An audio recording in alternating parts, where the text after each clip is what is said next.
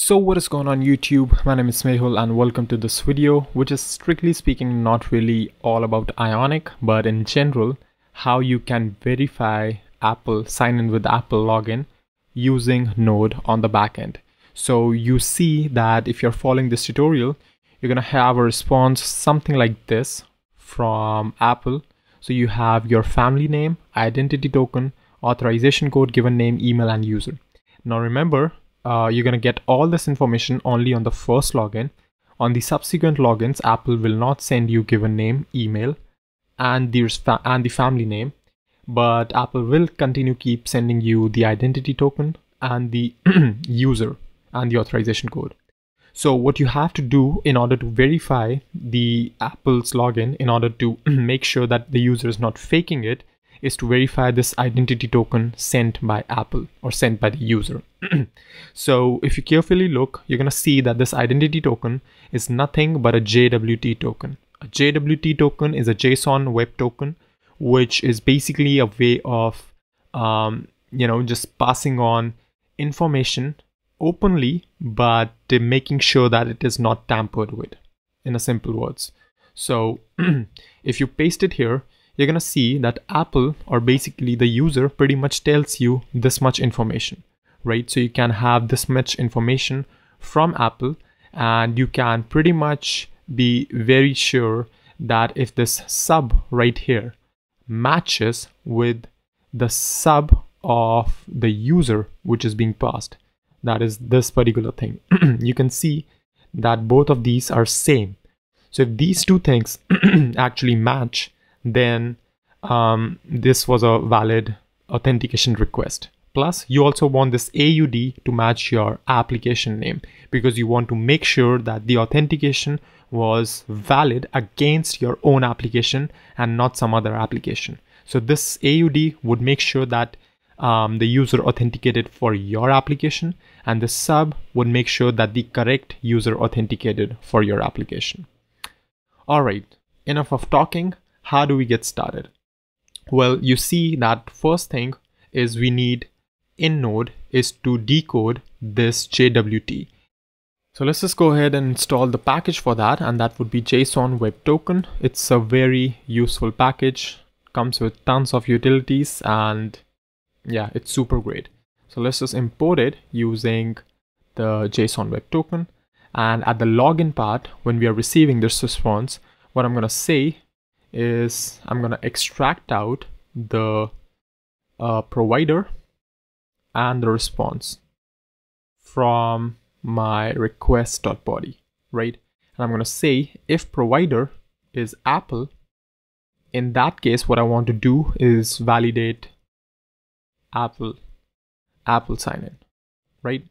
And the first step for that should be actually extracting the identity token and the user right here, which was given to us, right? And I'm going to say that is from response.response. .response. Now I have to do response.response .response because you see we haven't nested this thing, but you know, you can just fix it however your API is calling.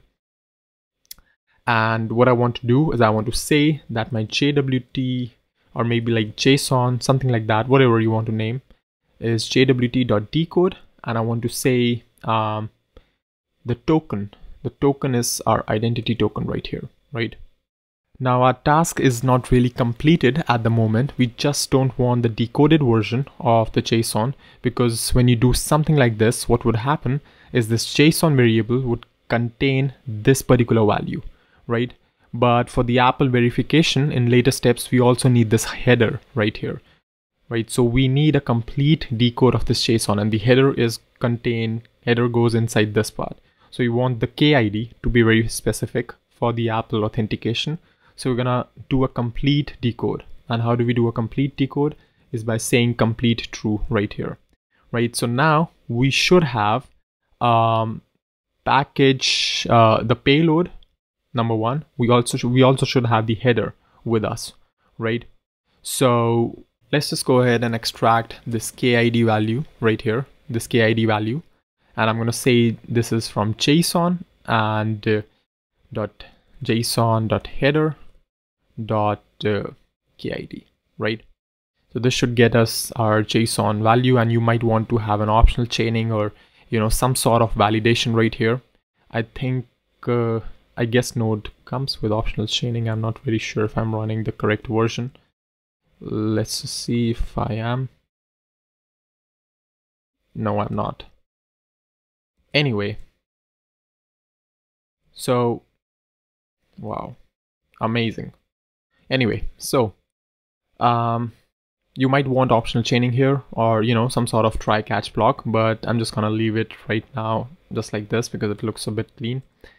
So once we have the KID with us, we need to get Apple's own signing keys, right? So Apple has a set of its own signing keys which it uses to validate the payload which you're sending.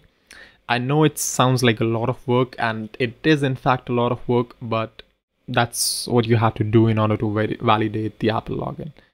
So what I'm gonna do is I'm gonna create another uh, function here, which is going to be called as get Apple signing keys or key rather because we just need a single key according to the KID.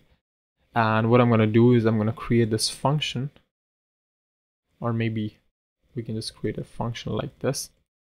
And what I want is according to the KID that is the header information I want to I want to do uh, retrieve the Apple signing keys. Now how do I get that for this we use another package known as JSON Web Tokens RSA so JSON Web Key Set RSA actually not web tokens but yeah you know you get the idea so um, Apple uses RSA encryption for for the payload signing.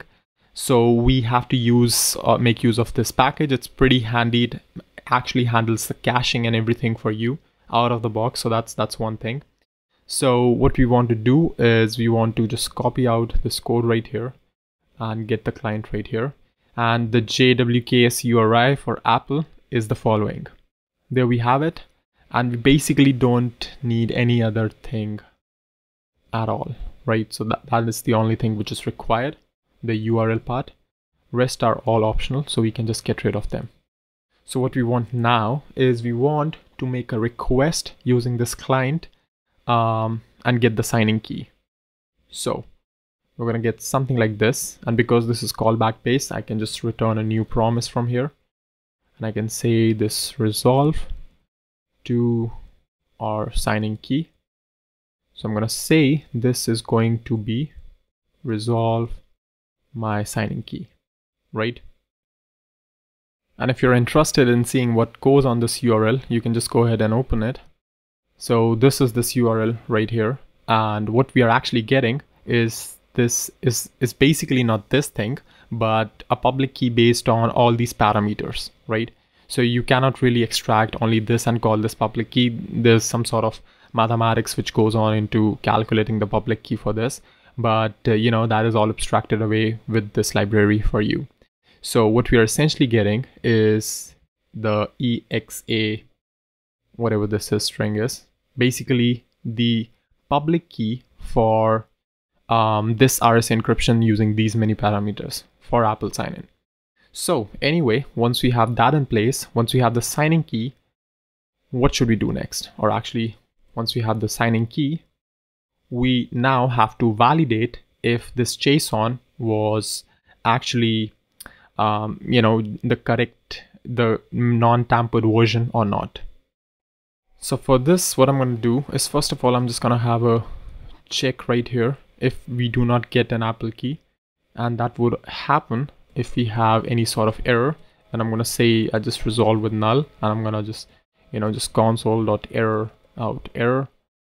And I'm also going to return so that we do not continue the execution.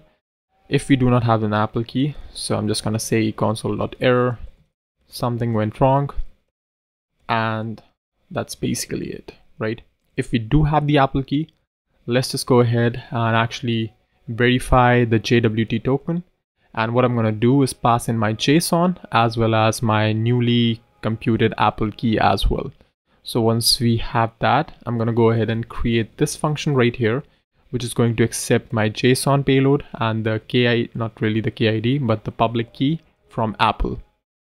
And now it is just as simple as calling jwt.verify over the JSON payload using the public key which I'm passed and our error and payload as the callback from node, right? So I want to say that if there's an error, again, I just want to console.error the error and, uh, you know, just return or maybe not really return, but what I want is just to have it return a new promise with a resolve like that. And what I want to do is once we have that, I'm going to resolve with a value of null. Otherwise, what I want to do is I want to resolve with my payload, right? So once we have that in place, what I'm going to do is finally say, actually, let's just get the payload back. So I'm going to say uh, sign in with Apple succeeded and I'm going to give it a payload here. And of course, you can just go ahead and check it here as well, um, just in case it fails. Something went wrong and return. All right, so we have done a lot of things here. Let's just go ahead and start it. And I believe we have a little bit of problem. Yep, we do not have imported our package here. Not really JSON Web Token, JW let's see what it was. The oh I guess we did not really install it at all. So yeah make sure to install it as well. So jwks rsa there we have it. And let's just wait for it to install. And I'm gonna start it one more time. So server is ready for us. Let's just go back to our simulator on the Apple. Click login with Apple. Click on continue I'm gonna share my email, write my password right here, click on continue, and we, we should be able to now see that if I go back on the backend, which is this, so we have a problem with us, that is the JWT must be string. And of course, we do not really want to verify our decoded JSON, but the actual identity token. Right, so yeah, that's what you want to do. All right, let's just go back one more time. Click on login, continue, share my email, continue with password. And there we have it. Paste, continue.